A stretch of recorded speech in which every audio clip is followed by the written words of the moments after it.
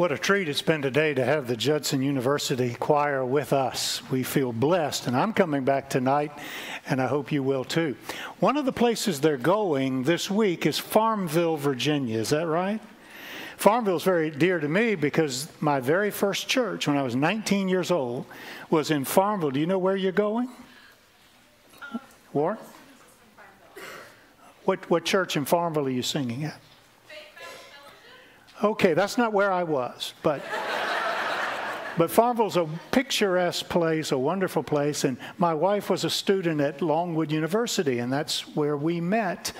And uh, it's a great town. While you're there, stop by Merck's restaurant and get some chicken salad, authentic Virginia chicken salad. You'll be glad that you did. Okay? We have been talking several weeks about that little expression. You've all heard it, you've all said it probably. Have a blessed day. You said it when you paid for a bill at Starbucks, or one of the uh, folks behind the counter said it to you. Have a blessed day. Now, it might just have meant have a good day, just as simple as that. But it ought to mean something more. So, we've been spending some time talking about the blessed day and the blessed life, and we've looked at the Beatitudes of Jesus from the great Sermon on the Mount. And uh, he gives us eight or nine different sentences with blessed in it. And they're not describing eight or nine different kinds of people, but one in the same. It's the progression we go through in our Christian experience. So, we start out poor in spirit we realize our spiritual poverty. Then we mourn, we repent of our sin, we grieve over it. We are meek, we commit all that we are to Christ. We hunger and thirst for righteousness. We extend mercy to others just as it was extended to us. We try to be peacemakers in the world. And then we come to this last one today, and you really can't skip over it. It's part of it, it's where all the rest of them go. So we're in chapter 5. Would you turn to Matthew chapter 5, beginning at verse 3? Chapter 5, verse 3. Blessed are the poor in spirit, for theirs is the kingdom of heaven. Blessed are those who mourn, for they will be comforted. Blessed are the meek, for they will inherit the earth. Blessed are those who hunger and thirst for righteousness, for they will be filled. Blessed are the merciful, for they will be shown mercy. Blessed are the pure in heart, for they will see God. Blessed are the peacemakers, for they will be called, they'll be known as the children of God. And now the one for today. Blessed are those who are persecuted because of righteousness, for theirs is the kingdom of heaven. All of these are counterintuitive, but this more than any of them. Verse 11 Blessed are you when people insult you, persecute you, and falsely say all kinds of evil against you because of me. Rejoice and be glad, because great is your reward in heaven. For in the same way they persecuted the prophets who were before you. This is God's word for us this day. Sometimes people ask me, uh, Pastor, do you ever get nervous when you stand in front of people to talk? Does it ever bother you? And the honest answer is no. I've been doing it, like I said, since I was 19, started preaching at 16. So it's all I've ever done, really, as an adult in my life. So no, I'm not nervous. But there are two times when I have a hard time with it, a difficult experience with it. One is when I'm talking to missionaries and their families. When we go on mission trips, there'll often be a worship service with just the, the mission staff. And they ask me to preach since I'm the pastor, and uh, I can barely get through it. I begin to weep and cry when I realize who's sitting in front of me and what right do I have to talk to them about sacrifice and commitment and all the rest.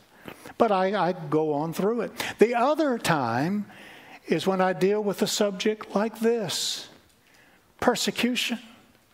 What in the world do I know about persecution? Well, some would say we don't even need to talk about this one because we don't experience that. There isn't any persecution today. That was long ago. That was in the early days of Christianity. That was Nero and all the rest. But I'm here to tell you today persecution still goes on in the world.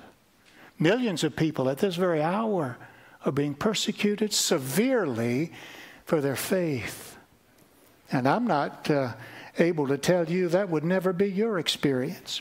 Jesus is telling us we should be prepared to suffer persecution for the sake of Christ. Because in one form or another, this kind of persecution is inevitable. Jesus doesn't say, Blessed are you if you are persecuted. Verse 11, Blessed are you when you are persecuted. It's not if, it's when. It's going to happen. And Paul wrote in 2 Timothy 3:12, "Everyone who wants to live a godly life in Christ Jesus will be persecuted." Now, you want to live a godly life. You, you want to count for Jesus. Well, included in the equation is persecution. Now, maybe you didn't recognize it or you wouldn't call it that in the light of what some folks are going through, but persecution takes many forms. In Luke chapter 6, Jesus is delivering a sermon very like this one. This is the Sermon on the Mount. That one's called the Sermon on the Plain. And many scholars believe it's the same sermon, same day, just a different account of it. And that may be true, but I think it's two different sermons one on a mountain, the other down on level ground. But Jesus is the preacher, and he's using the same material. It's shorter in Luke 6, and he fashions it a little differently, but he's making the same point. You know, preachers do repeat themselves from time to time. One of our deacons surprised me not long ago and said, Pastor, I've started going back to day one of your ministry, and that goes all the way back to 2005, and everything's recorded. I've started listening every day to one of your sermons. That's my devotional time.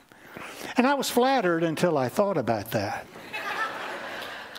if he's listening to everything I've said here, then somewhere along the way, he's hitting some repeats so now I got to change the titles around a little bit and move some of the points. I don't do it much, but sometimes I do repeat myself, and if the point is important, certainly so. But in Luke chapter 6, this sermon on the plain in verse 22, there Jesus says, Blessed are you when people hate you, exclude you, and insult you, and reject your name as evil. Now, that's a whole gamut of things. Your persecution could be ridicule, an insult. Starts out kind of humorously. They, they have a little joke, they jab you a little bit. Not too serious, nobody gets hurt. But maybe you do get hurt by what they say as it goes down into your heart. Ridicule and insult. Now, why do they do that? Why does the culture, why does, why does uh, secular entertainment have such a good time making fun of Christians? Well, some of it we bring on ourselves, and let's not, uh, let's not forget that. Sometimes we do things to bring it on. But they do seem to enjoy speaking against us. Why is that? It says in the Sermon on the Mount, Blessed are you when you are persecuted because of righteousness. It may be that your life is a rebuke. You didn't say anything about it, but your life silently lived before them is a rebuke of the way they're living. You're trying to be pure. You're trying to be chaste, pure in heart and pure in body. That's the Christian standard. But the world doesn't accept that anymore. The world is talking about Me Too and sexual assault, and we should do that too. There's no place for sexual assault and, and uh, sexual activity where both parties are not in agreement about it. There cannot be any assault of children. We've got to draw the line. There's got to be a sense of right and wrong, and the world is, is getting that. But the Bible goes further than that. We agree with that part of it. Human trafficking, human slavery is evil. But we've got to go further. The Bible talks about purity of heart. That sex outside of marriage is wrong. Before you're married and with somebody else while you're married. That's God's standard. And it hasn't changed. Well, you're trying to live that way, and maybe you failed, you try again, maybe you're having a difficult time with it, but that's the standard. And people around you have long given that up, and you are a rebuke of their lifestyle. You're trying to be temperate. I'm not talking about a glass of wine for dinner, but I'm talking about folks that feel like they can't go to a party unless they drink and drink and drink until they can't remember where they are. And you used to do that, but you don't do it anymore because your body is the temple of the Holy Spirit.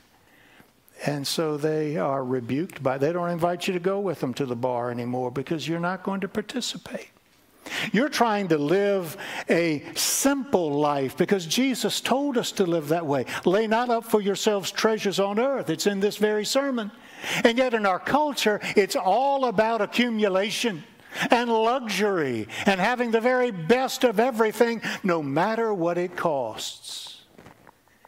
And your life is a silent rebuke. The world says, get in there and get rough with people, shake it up, climb your way no matter the cost. But Jesus said, no, be peacemakers, live humbly in front of others. Your life is a rebuke of that, and so they make fun. Persecution could mean you're excluded. Excluded from the invitation list, excluded from the job. You don't get the promotion because you just don't fit in with the corporate culture. It co- could go to active hostility. Now it's really mean. Now folks are trying to hurt you in some way. It could happen. Talk to somebody sometime about their career, their experience, and maybe somewhere along the way it happened to them. Well, it's a whole gamut of things, but it ends up with martyrdom. Do you know that the Greek word for martyr is the Greek word for witness? Because you see, in the early days of the church, they were pretty much the same thing. If you were one who would stand and give testimony, if you were one who would share your faith, that was a death sentence, martyrdom. And it's still happening in our world. People are still being tortured for their faith. Last August, several of us from the church were on a mission trip in Central Asia and folks from a closed country were coming across the border, and we spent a week with them and, and taught them everything we could in, in a week's time, and then we sent them back into that very closed culture. And just coming out, just being with us for a week, it didn't cost us anything. I mean, we weren't risking much of anything, but they were risking their lives. One night, a mother and her daughter asked to see me, and we sat with Audrey and we talked. And they told us about the girl's experience as a teenager. She was no longer a teen, now a young adult. But she told me that when she was 17, as a Christian, she was telling people about Jesus. She was being a witness, as the Bible tells us to. And for that crime, she was arrested. And she was thrown in prison, the worst prison in that country, an all male prison. And she's a beautiful 17 year old girl and she spent some time in there. When it came time for her trial, they bring her out and she's standing before the mullah. And she looks around the room, and there are some of her friends who are also Christian, who'd also been sharing their faith, and the mullah was demanding that they all recant, that they all take it back, and every one of them did. And they even turned on this girl, testified against her. But when it came her turn, she said, like Martin Luther, Here I stand, I can do no other. God help me. She refused to recant. The mullah was perplexed. He was disappointed. He kind of slumped in his seat and he said, You should not believe what you believe, but I'm convinced that you do. These others, they're not Christian. And they're not Muslim either. But you are a real Christian. And though I disagree vehemently with you, I'm going to give you a light sentence. And soon she was out telling people about Jesus again. It's happening in our world. And sometimes it leads to martyrdom, like with Dietrich Bonhoeffer, the German Lutheran arrested by the Nazis, sent to prison, and in 1945, days before the end of the war, the war's end was imminent and everybody knew it. he was sentenced to die, and they walked him out to the gallows. And they say as he climbed the steps, he said, This is the end, but for me it is the beginning of life. And those who witnessed it said his face glowed, and nobody they had ever seen died with such peace, trusting in God to take care of him. It happens in our world. Have you heard the expression crossing the Rubicon? Crossing the Rubicon. It means that you've, you've gone past the point of no return. It comes from history. January AD 49, Julius Caesar, commanding Legion 13, was north of Italy and he was coming back toward Rome. The Roman Senate had said, You cannot bring an army in, but he disobeyed he crossed the Rubicon River into Italy, and that was believed to be an act of insurrection and treason. And war broke out in Italy. He ended up, of course, being the great Caesar. But he, he went too far. He said in that moment, The die is cast. There's no turning back. I'm on my way. Now, when you have an experience in your life, in your career, whatever, where you, you take a step and there's no going back from it, once you cross, you're there, that's crossing the Rubicon. Something like that happens when somebody gets baptized. You saw that gentleman get baptized this morning, baptized two other adults in the, in the first service. Well, in, in this past summer, that same experience where I was, it was my privilege to baptize new believers and talk about the die being cast. Talk about the point of no return. They knew that when they got baptized publicly, that was it. When people, the authorities found out about it, they were as good as dead. And we stood in a chilly pool of water and I baptized them, just like the gentleman this morning. They knew what it meant, and I knew what it meant. It was an awesome moment. Now, it doesn't mean that in our culture. I mean, you applauded when that man was baptized today. That's what we do around here. But the meaning is still the same. You're crossing the Rubicon, there's no walking it back. You're committed lock, stock, and barrel to Jesus. So persecution is inevitable and it takes many forms, but don't take it personally. Don't take it so personally. It's happening to you because of Jesus. Blessed are you when people insult you and persecute you and say all kinds of evil against you because of me. It's not you, it's because of Jesus, and you're following Jesus. Turn to John chapter 15. John 15, verse 18. Jesus said, If the world hates you, keep in mind that it hated me first. If you belong to the world, it would love you as its own. As it is, you do not belong to the world, but I have chosen you out of the world. That's why the world hates you. Remember what I told you? A servant is not greater than his master. If they persecuted me, they will persecute you also. If they obeyed my teaching, they'll obey yours too. They will treat you this way because of my name, for they do not know the one who sent me. It's because of Jesus.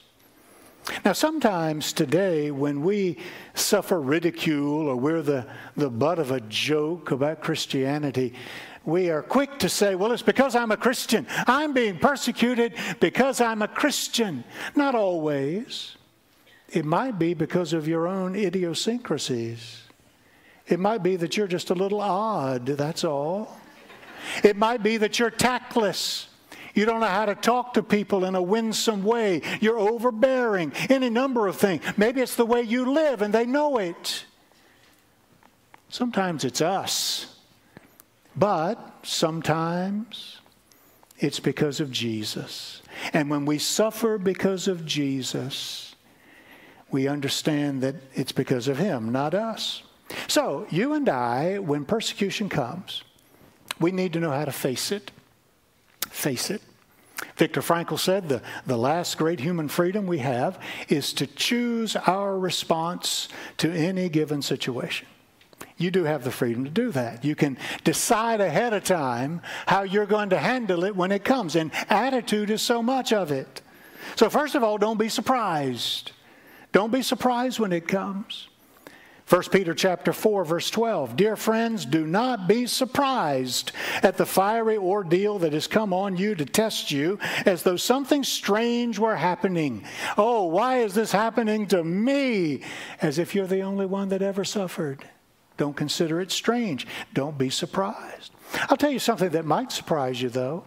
In the sermon on the plain back in Luke 6 Jesus says something we don't find recorded in Matthew 5. In chapter 6, verse 26, Jesus says, Woe to you when everyone speaks well of you. Ah, have you thought about that? When you're a jolly good fellow and you don't offend anybody, are you really walking with Christ? Jesus said, if they hated me, they're going to hate you. Well, if nobody hates you, if everybody loves you, maybe something's wrong. Don't be surprised. What you're supposed to do is rejoice. 1 Peter 4, verse 13 says, But rejoice insomuch as you participate in the sufferings of Christ, so that you may be overjoyed when his glory is revealed. Rejoice. Celebrate. Talk about uh, going against the grain, counterintuitive. Absolutely. Rejoicing in suffering. Well, that's what the apostles did. In Acts chapter 5, Peter's one of them. They're hauled before the Sanhedrin and roughed up a little bit by them and warned not to do that anymore. The apostles left the Sanhedrin rejoicing because they had been counted worthy of suffering disgrace for his name. They knew what Jesus went through, and now they're rejoicing that they got to do it too.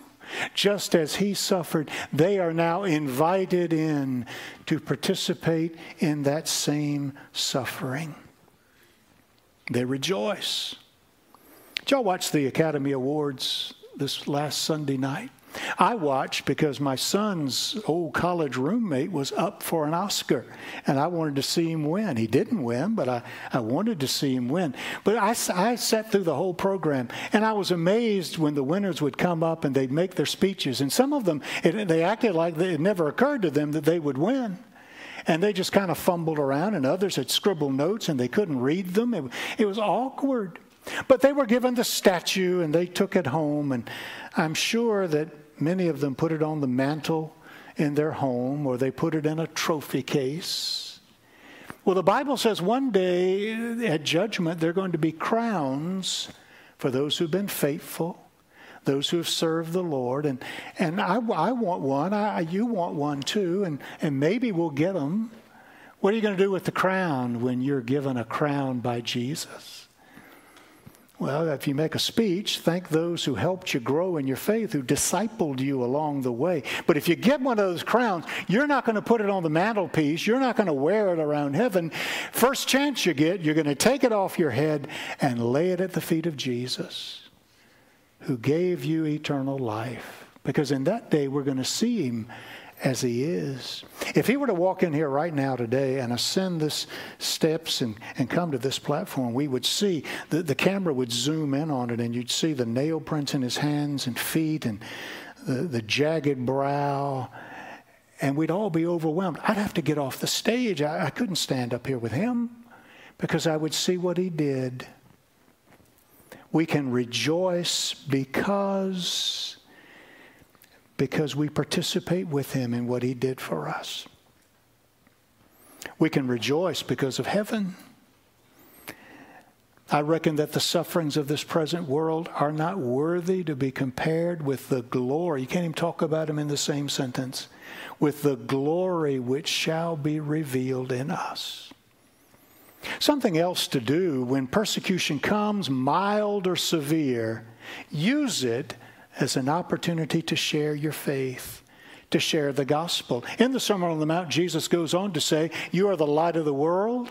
A town built on a hill can't be hidden, neither do people light a lamp and put it under a bowl. Instead, they put it on its stand, and it gives light to everyone in the house. In the same way, let your light shine before others, that they may see your good deeds and glorify your Father in heaven. Remember when Paul and Silas were arrested for sharing their faith and they're thrown in the innermost prison in Philippi. At midnight, they think they're going to die the next day, but at midnight, they are singing hymns and praising God, and all the other prisoners are hearing it. The jailer is listening too. And when the earthquake comes and the doors are all open, he expects they're all going to run, but they don't. And so the jailer rushes in and says to Paul and Silas, Sirs, what must I do to be saved? How can I have what you have? He saw their persecution and how they sang through it, and he wanted that same kind of faith. One more thing when persecution comes, commit your destiny to the hands of God. Commit your destiny to the hands of God. 1 Peter 4:19 So then those who suffer according to God's will should commit themselves to their faithful creator and continue to do good. Just keep on going and commit all that you are to him. Now you've done that in a way when you gave your life to Jesus. You you gave yourself to him. But we're talking about giving everything now, all to Jesus. I surrender. I surrender all. Put your destiny in his hands. That's what Jesus did on the cross. We, we read about it this past week as we were finishing up Matthew. Matthew doesn't have this sentence, but we get it from Luke's gospel. Jesus, as he's dying, just before he died, he cried, Into your hands, Father, I commit my spirit. You can say that. Lord, into your hands I commit my spirit, my body, my life, my destiny. When persecution comes, and it will come in some way to all of us, we need to be ready. Don't be shocked by it, be ready for it. And in that darkest time that comes your way, give glory to God and share Him with those around you. Would you pray, please, everyone? We're going to sing in a moment. I'm going to stand at the front of the room. And it's possible that today you want to cross the Rubicon in your life. You want to you want to you want to give yourself to Christ in a very public way. We need to baptize you and we'll do it in weeks to come. Or maybe you've made the decision but you've kept it private. You really can't do that. You need to let others know. Step out and come.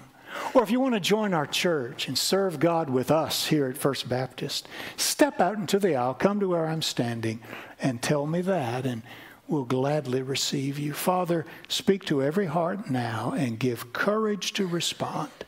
We pray in Jesus' name. Amen. Let's